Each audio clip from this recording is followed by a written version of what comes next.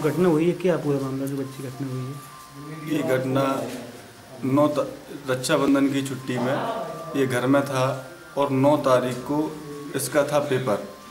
तो ये परसों के दिन ये वापस इस बड़े भाई साहब के साथ इसको छोड़ने आए हो रही हॉस्टल। और इसको छोड़ जाने के बाद ये कल पेपर दे के साढ़े दस बजे से इसका पेपर छूट गया। ये वापस अपने हॉस्टल में आया। हॉस्टल में आने के तदुपरांत इसने एंट्री भी की।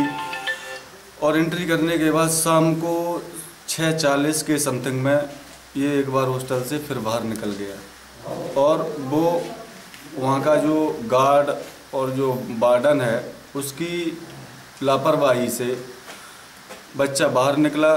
निकलने के बाद इसने बच्चे को कोई मज़बूत उनके जो हॉस्टल में जो टीचर वगैरह हैं, कोई मज़बूत कार्रवाई नहीं की गई।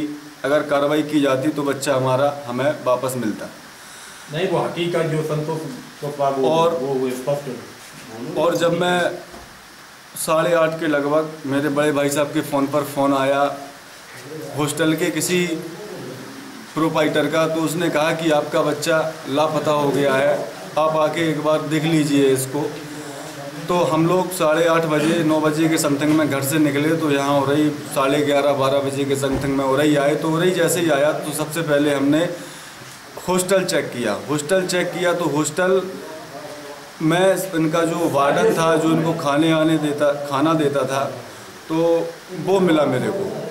तो मैंने उससे पूछा, मैंने कहा, भाई, आप कहाँ थे? आपने ये लापरवाही क्यों की? ऐसी जो मेरा बच्चा बाहर निकल गया, जबकि मैं हॉस्टल में सारा पे, मेरी तरफ़ से पैसा जाता है हर तरीके का।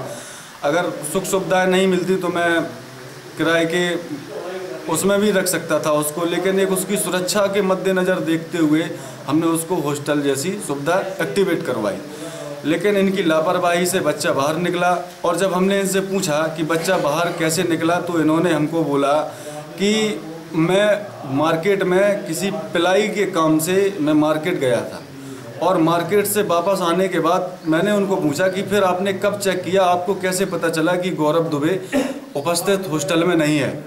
तो उन्होंने हमसे बोला कि आठ बजे के लगभग, आठ, साढ़े आठ बजे के लगभग आठ, साढ़े आठ बजे के लगभग उन्होंने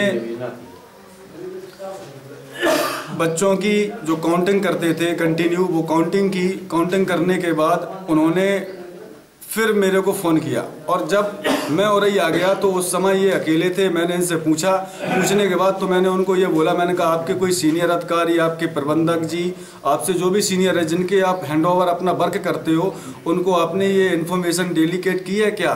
तो इसने हमसे बोला, जी, मैंने अपने प्रबंधक जी को फ़ोन किया है।